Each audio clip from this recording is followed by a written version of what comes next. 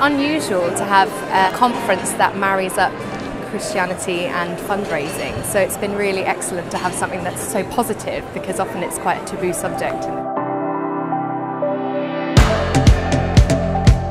This, this meeting has been a bridge builder between the field that is in need of resources to push the gospel and the donors.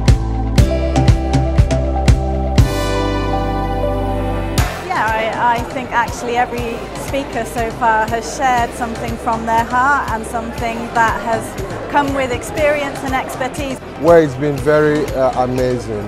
I've learned so much. I saw the passion, the zeal, the vibrancy. The, uh, the encouragement and some of the practical advice that Archbishop Sentamu gave to us as well. That was, that was really inspirational.